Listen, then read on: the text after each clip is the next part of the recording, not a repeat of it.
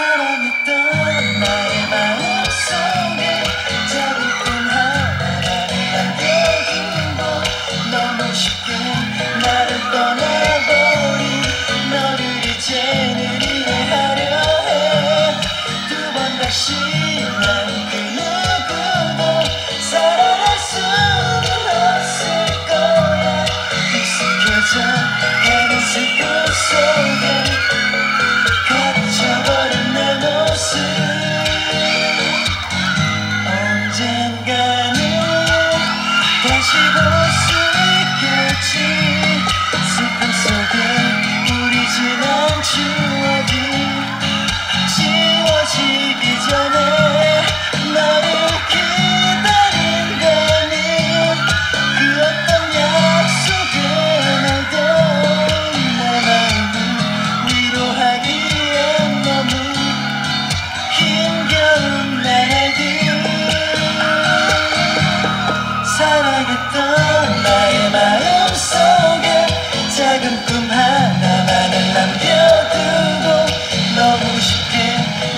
떠나버린 너를 이제는 이해하려 해 두 번 다시